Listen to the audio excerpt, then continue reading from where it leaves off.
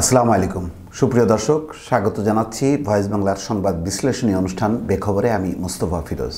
শেষ পর্যন্ত রাষ্ট্রপতি অনুমোদন করেছেন প্রধান নির্বাচন কমিশনার এবং অন্যান্য নির্বাচন কমিশনের যেই নিয়োগ সংক্রান্ত যে আইন, সেই আইনটি তিনি অনুমোদন করার পর গেজেট আকারে এটি প্রকাশ করা হয়েছে, যেখানে বলা হয়েছে আপিল বিভাগের একজন বিচারকের নেতৃত্বে ছয় সদস্যের একটি সার্চ কমিটি হবে এবং যোগ্যতা, অযোগ্যতা বিবেচনা করে এই সার্চ কমিটি দশজনের নাম প্রস্তাব করবেন। দশজনের মধ্য থেকে পাঁচজনকে রাষ্ট্রপতি নিয়োগ দেবেন নির্বাচন কমিশনে। তার মধ্যে একজন থাকবেন প্রধান নির্বাচন কমিশনার এবং বাকি চারজন থাকবেন হচ্ছে নির্বাচন কমিশনার। এই নির্বাচন কমিশনের গুরুত্ব অত্যন্ত বেশি, কেননা আগামী বছর ডিসেম্বরে যেই জাতীয় সংসদের নির্বাচন হবে, সেই নির্বাচনটি এই নতুন নির্বাচন কমিশন কন্ডাক্ট করবে বা তারা পরিচালনা করবে। এখন প্রশ্ন হচ্ছে, সবই তো হলো।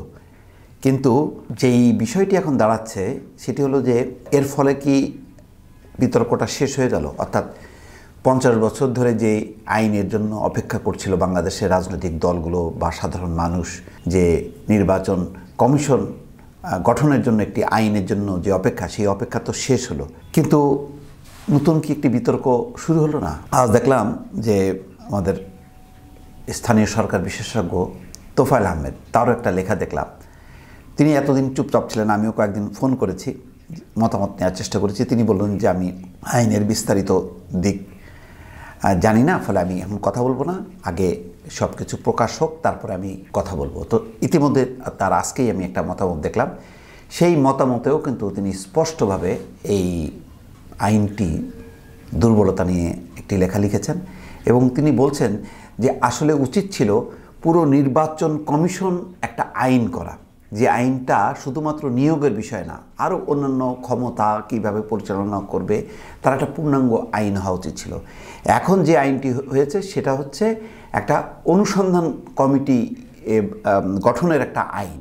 অর্থাৎ সার্চ কমিটি কীভাবে হবে, কোন আদলে হবে, তারা কি কাজটা করবে, তারা নামগুলো শুধুমাত্র রাষ্ট্রপতির কাছে প্রস্তাব করবেন, তারপর হচ্ছে রাষ্ট্রপতি সেই দশজনের মধ্যে থেকে পাঁচজনকে নিয়োগ দেবেন। এখন সবাই তো জানে যে এই পুরো প্রক্রিয়াটা আমাদের সংবিধান অনুযায়ী এটি আসলে রাষ্ট্রপতির নামে হলেও আসলে নেপথ্যে বা মূলত হচ্ছে এটা প্রধানমন্ত্রীর কাজ বা নির্বাহী বিভাগের কাজ, সেই নির্বাহী বিভাগের প্রধান হচ্ছেন মাননীয় প্রধানমন্ত্রী। তার পরামর্শ, তার সুপারিশেই রাষ্ট্রপতি ফাইনালি তাদেরকে নিয়োগ দেবেন। এখন এই ঘটনার মধ্য দিয়ে তো এটা পরিষ্কার হলো যে, মানুষের যে আকাঙ্ক্ষা, সেই আকাঙ্ক্ষা কিন্তু আসলে পূর্ণ হলো না। রাজনৈতিক দলগুলোও অসন্তোষ প্রকাশ করেছে। জাতীয় সংসদে তারা নানান রকম সংশোধনী দিয়েছে। তার মধ্যে কিন্তু মূল সংশোধনীগুলো গ্রহণ করা হয়নি। এই টুকিটাকে খুচরা এদিক সেদিক করা হয়েছে। যেমন বলা হয়েছে যে রাষ্ট্রপতি যে দুইজনকে নিয়োগ দেবেন, তার মধ্যে একজন থাকবেন, হচ্ছে মহিলা প্রতিনিধি। এরকম টুকিটাকি কিছু। কিন্তু মূল কথাটা ছিল যে এখানে সংসদ ইনভলভ থাকবে। সংসদের প্রধান বিরোধী দল এবং আরেকটি তৃতীয় বিরোধী দল। সেখান থেকেও প্রতিনিধি থাকবে এবং সরকারি দলে থাকবে। কিন্তু পুরো সংসদটা কিন্তু মাইনাস করা হলো। মাইনাস করার ফলে যেটি হয়েছে যে, যেই সার্চ কমিটিটা, সেটা হচ্ছে বিভিন্ন যেই সাংবিধানিক প্রতিষ্ঠান আছে, তাদের প্রধানদেরকে নিয়ে যেটি হবে। তাদের মধ্যে যে আলাপ আলোচনাগুলো, সেই আলাপ আলোচনাগুলো তো তারা রাজনৈতিকভাবে দায়বদ্ধ না। তারা প্রকাশ করবে না। ফলে তারা যখন প্রকাশ করবে না, তখন কিন্তু মানুষ জানতেও পারবে না। কিন্তু রাজনৈতিক দলের প্রতিনিধিরা যদি থাকতো, তাহলে হতো যে সব রাজনৈতিক দল মিলে একটি নির্বাচন কমিশন গঠন করছে, ফলে এটি একটা অংশগ্রহণমূলক থাকতো এবং মানুষের একটা আস্থা থাকতো। এবং সেখানে কার নাম আসছে, কার নাম আসছে না, সেই বিষয়গুলি মানুষ জানতে পারতো। এখন কিন্তু পুরো বিষয়টাই কিন্তু একেবারে আধারে ঢেকে গেল। সেই কারণেই কিন্তু তোফাল আহমেদ দের মতো মানুষ, তারপরে বেগিরিয়া সাখোয়াত বদুল আলম মজুমদার মানে যাদের ন্যূনতম বিবেক, বিবেচনা আছে, তারা কেউ কিন্তু সমর্থন করেনি এই আইনের। বরং তারা বলছে যে এটি আবার একটি নতুন বিতর্কের জন্ম দিল, নতুন একটি সংঘাতের উপাদান হলো। এটি গেল একদিকে। অন্যদিকে প্রধান রাজনৈতিক দলগুলোর আকাঙ্ক্ষাটা কি? তারা কিন্তু একবারও বলছে না যে এই নির্বাচন কমিশনটা যদি সঠিক হতো তাহলে এটাই যথেষ্ট এবং এটার অধীনে আমরা নির্বাচন করব। সেই কথা কিন্তু তারা বলছে না।